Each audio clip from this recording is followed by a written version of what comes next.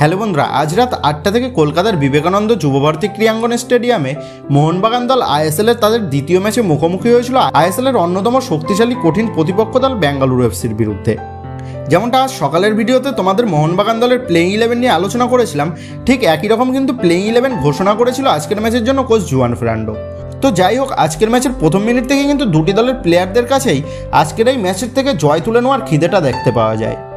যার কারণে ম্যাচের প্রথম মিনিট থেকেই দুটি দলের প্লেয়ারাই বেশ আক্রমণাত্মক ছন্দে খেলতে থাকে, যার কারণে খেলার ঠিক দশ মিনিটের মধ্যে বেঙ্গালুরু এফসি দুটো ভালো আক্রমণ রাখে। কিন্তু সেই আক্রমণের দুটো শর্টকেই কিন্তু আটকে দেয় অনিরুদ্ধ থাপা এরপর আবার কাউন্টার অ্যাটাক করে হুগো বোমস আর লিস্টন কোলাসো। লিস্টন কোলাসের উদ্দেশ্যে দুর্দান্ত একটা বল পাস করে হুগো বোমস।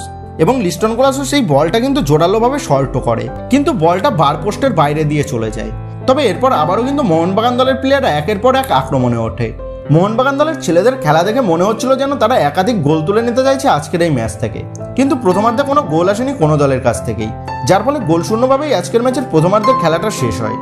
তবে প্রথমার্ধে মোহনবাগান গোল না পেলেও প্রথমার্ধের খেলায় মোহনবাগান দলের ডিফেন্স মাঝমাঠ এবং আক্রমণ ভাগ মানে তিনটি বিভাগই কিন্তু বেশ দুর্দান্ত পারফরমেন্স উপহার দিয়েছিল সমর্থকদের। এরপর দ্বিতীয়ার্ধের শুরু থেকেই আক্রমণের ঝড়টাকে কিন্তু আরও বাড়াতে শুরু করে মোহনবাগান দল। যার ফলে সাতচল্লিশ মিনিটের মধ্যে একটা আক্রমণ গড়ে তোলে ডিমিত্রি পেট্রাটস। তবে ডিমিত্রি পেট্রাটসকে বক্সের মধ্যে ফেলে দেওয়া হয়।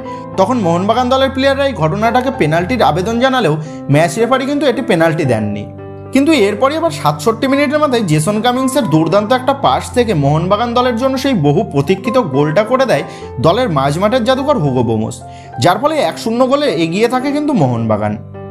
এরপর চুয়াত্তর মিনিটের মাথায় লাল কার্ড দেখে সুরেশ সিং ওয়াংজাম মানে জোড়া হলুদ কার্ড দেখে কিন্তু আজকে রেড কার্ড কনসিড করতে হয় সুরেশকে। যার ফলে মোহনবাগানের বিরুদ্ধে দশ জনেই কিন্তু মাঠে লড়াই করে বেঙ্গালুরু এফসি।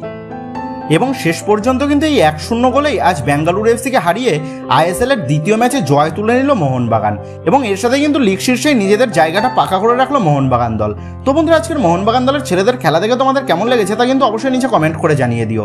তো এই ভিডিওটা এটুকুই ছিল, তো আশি বন্ধুরা, দেখা হচ্ছে পরের ভিডিওতে।